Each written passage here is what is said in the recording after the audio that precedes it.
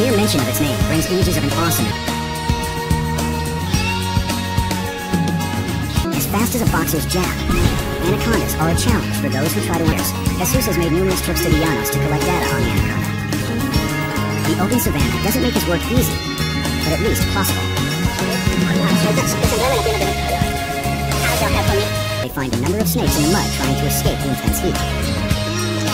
No females, only a lot of belligerent males.